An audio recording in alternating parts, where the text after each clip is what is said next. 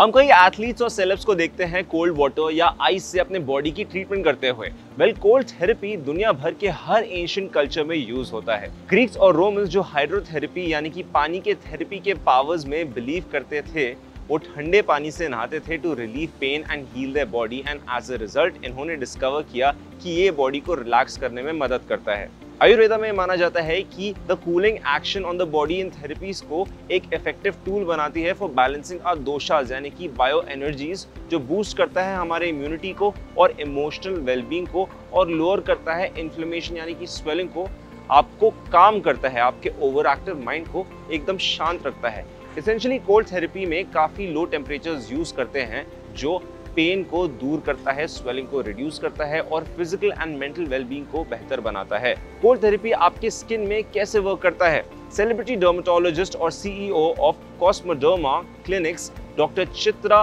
V Anand ने explain किया कि कोल्ड थेरेपी कंस्ट्रिक्ट करता है ब्लड वेसल्स को, जो इंटर्न रिड्यूस करता है इन्फ्लेमेशन जैसे कि acne by controlling oil production and calming the irritated skin ये पफिनेस को भी डिक्रीज करता है after our late nights and dehydrated days इसमें पावर है टू टाइटन आर पोज जिससे स्किन को एक फर्मो अपीयरेंस मिलता है, जिसके कारण आप एब्सोल्युटली ग्लो करते हैं। आप cold showers ice facials ice facial rollers और होल बॉडी क्रायोथेरेपी यूज़ कर सकते हैं, जो आपकी बॉडी को रिकवर और रिफ्रेश करने में हेल्प करेगा। क्या कहना आपका इसके बारे में हमें कमेंट सेक्शन में ज़रूर बताएँ और हेल्थ लाइफ को लाइक शेयर और सब्सक्राइब करना ना भूलें।